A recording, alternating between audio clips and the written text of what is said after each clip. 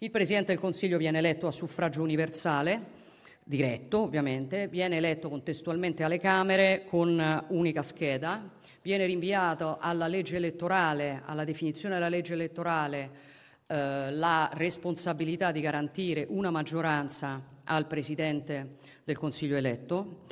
Eh, è prevista una norma antiribaltone, cioè in caso di dimissioni, di eh, impedimento, eh, di sfiducia, il Presidente eletto può essere sostituito in un unico caso solo da un parlamentare,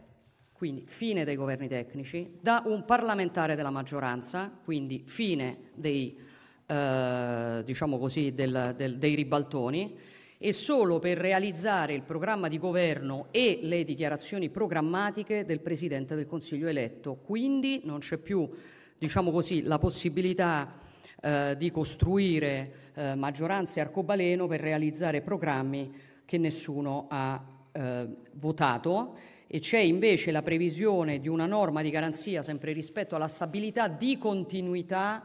per quella maggioranza di portare avanti quel programma, quindi un elemento che rafforza ulteriormente, secondo noi, la stabilità